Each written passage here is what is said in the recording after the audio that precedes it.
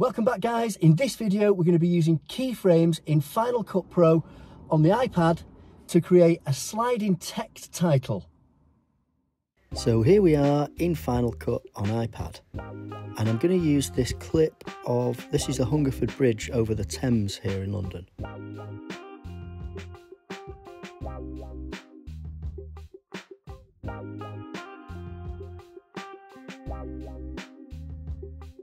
Okay, so the first thing we want to do is get some text over this.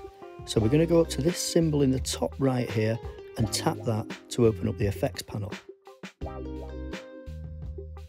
we're going to choose titles and we're just going to drag this essential title over the top of that video clip.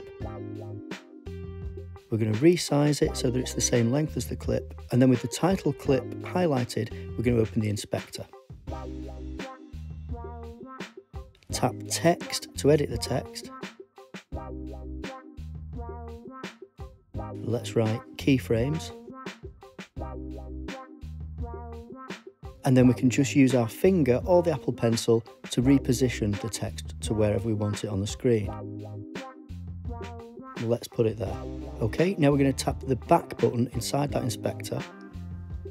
And we're going to make sure that this position icon in the center is selected. Once we've done that, we can shut down the inspector and then we're going to open Animate at the bottom here.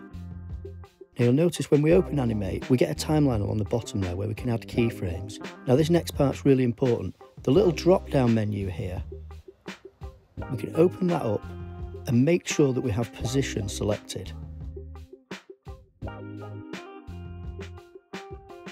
Now move the playhead along to where we want the text to end up and tap down here in the bottom right to add a keyframe.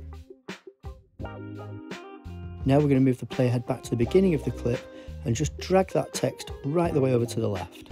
And you'll notice that Final Cut automatically adds another keyframe when we move that text. Okay, so that'll play through like this.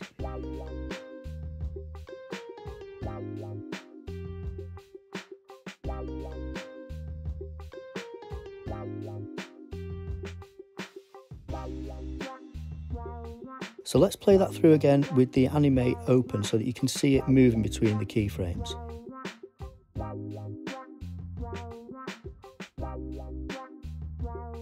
Okay, so it starts off on the first keyframe there where it's off the screen and then